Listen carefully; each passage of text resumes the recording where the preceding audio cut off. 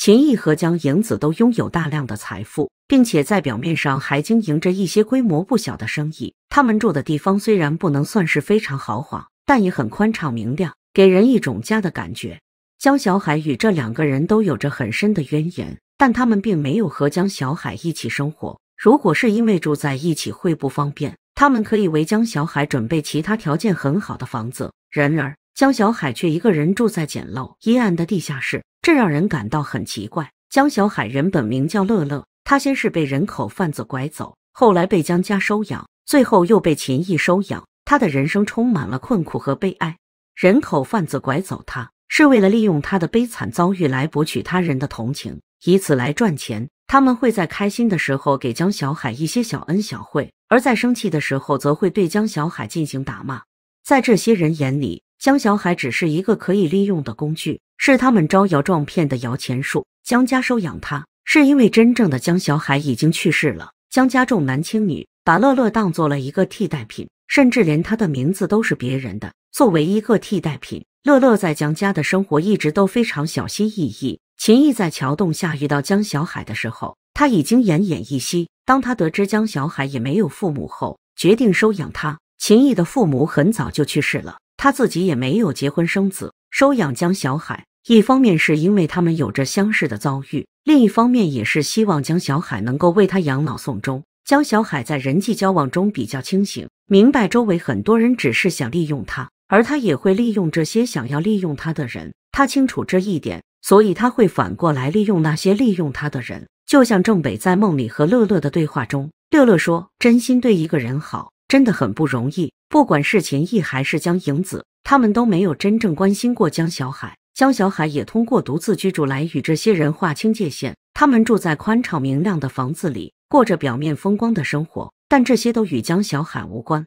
只有在简陋阴暗的地下室。”江小海才能找到真正的自我，或者说，只有在这里，他才是那个已经死去的乐乐。他的生活就像这样，孤独而没有温暖。地下室的小窗户透进房间的微弱光线，显得非常珍贵。这束光是郑北给他带来的温暖和希望，但这样的温暖和希望太短暂，无法温暖他的整个世界。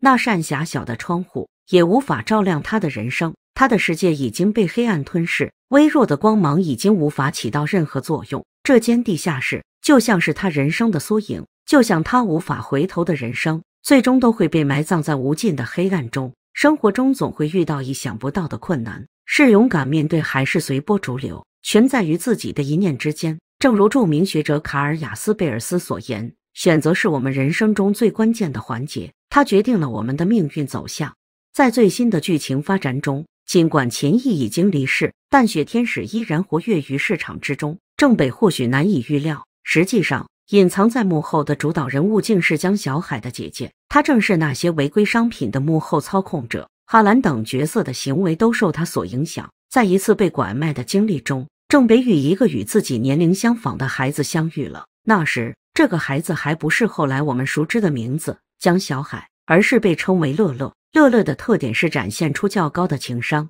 善于在不同的人面前恰当的表达自己，这使得他在人贩子眼中颇为讨喜。与此形成鲜明对比的是，郑北的性格较为倔强，面对人贩子的要求，他总是选择拒绝，因此他承受了更多的苦难。每当人贩子施压郑北，剥夺其食物供给时，江小海便会秘密的为郑北送上食物。这份举动不仅体现了江小海的善良。也加深了他与郑北之间的情感纽带。自此以后，郑北视江小海如亲生兄弟，立下坚定誓言，要携手江小海逃离这黑暗之地。然而，在他们成功逃脱的过程中，江小海因寒冷而体力不支，无法继续前行。面对人贩子的追捕，郑北做出一个艰难决定，将江小海藏匿于垃圾桶内，自己则前去寻求援助，以期尽快将江小海安全救出。原本的故事主题是关于郑北与江小海之间的命运交织，以及郑北因过去的遗憾而走上成为警察的道路。某日，郑北期待着与江小海重逢，却意外得知江小海已遭人贩子不幸杀害的消息。这一悲剧让郑北深感内疚，并由此决心投身警界，致力于将为人绳之以法。